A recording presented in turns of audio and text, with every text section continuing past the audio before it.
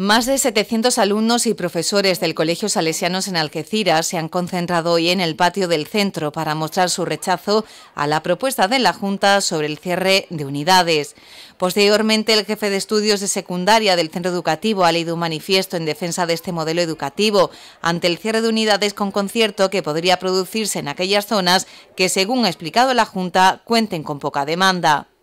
reclaman a la presidenta de la Junta, Susana Díaz, que el descenso demográfico no sea una excusa para aplicar recortes, ni en la pública ni la concertada, sino que se convierta en una oportunidad para demostrar la apuesta de Andalucía por la educación.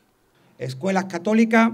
pide a Susana Díaz que la bajada de realidad y la vuelta de inmigrantes a sus países de origen no se conviertan en una excusa para que el gobierno que preside cierre unidades ni públicas ni concertadas, sino que debe ser una oportunidad para que se invierta más y mejor, con el único fin de que la educación andaluza ocupe el lugar que le corresponde.